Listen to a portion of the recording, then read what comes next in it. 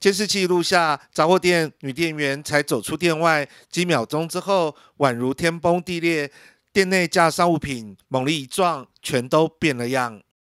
换一个角度看，原来一瞬间，一辆吊车冲进店里，还撞破墙壁。但仔细看，车上并没有驾驶。刚起床，然后猫咪它它拉那个垃圾出来，我就赶快去要去扫。我走过来十五秒的，我以为是地震，这个没有，看有一台车啊，吓到赶快开门。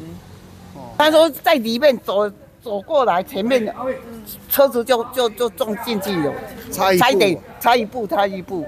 意外发生在十号下午，基金二路上，一辆吊车准备进行作业，司机把车停好，下车查看吊挂流程，想到整辆吊车却突然倒退撸，而吊车司机看到这一幕，也当场吓傻。那木头还在那，你自己会跑弯弯，那我懂。对哦，啊你啊你想你拄落来对啊，晓。家己溜位啊，家己溜位哦。事发地点就在里长李元林家附近，听到巨大声响，里长也赶来协助处理。有坑车，有坑车啊。哦，有坑是车身。他他停在这边呢。哎，他是来做啥的吗？没有啊，他来看你看工作啦。嗯。啊，工作是人没在车上啊，没在车上的时候，啊，他好像去去没人没在车上，那不知道说怎么会会会倒铁路。